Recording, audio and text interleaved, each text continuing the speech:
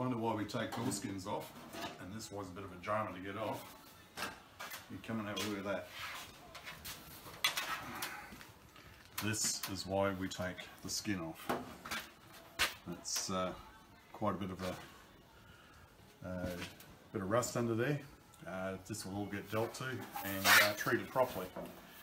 Now, if we bought a good door, we're pretty unlikely to try and take this stuff off um, because you're not going to pull apart a good door.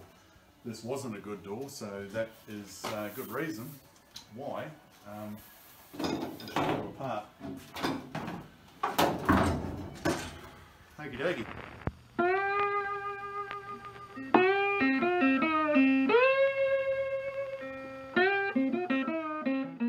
This is the door that we were doing the extensive uh, panel beating repairs to. It was quite badly dented in, had about half an inch or so of bog in it.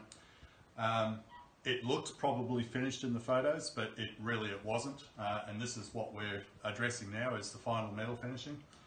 If you have a look, um, you can see uh, all the dimpling from the uh, person before us that just got a hammer and smashed it all in and bogged it up. So what we're doing is I'm using a uh, slightly crowned uh, palm dolly, using my horse hoof file.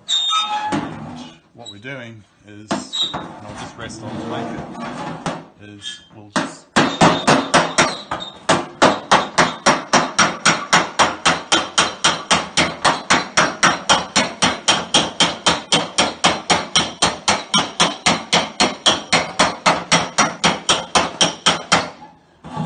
panel beat that up enough that you now see that's starting to bring those low spots up. I then get my trusty uh, shrinking disc.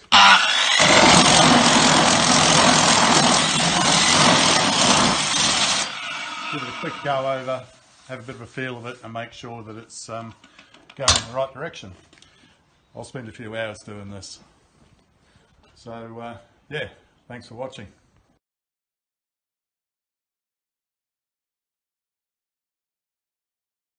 This is the door that I've been uh, metal finishing. I've probably got in actual panel beating um, about three, maybe four hours uh, tops to get it to this stage.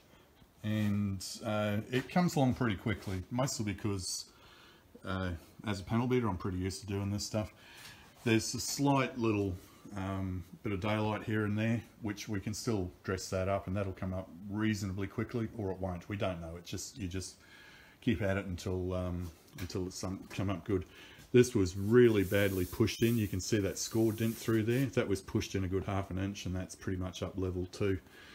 A lot of shops would simply run a bit of uh, filler over the top of this, and while it will still get a skim coat at some stage or high build primer, it won't get much. Um, it probably won't need even that. I'm just going to keep on trying for metal finishing. Okay, thanks for watching.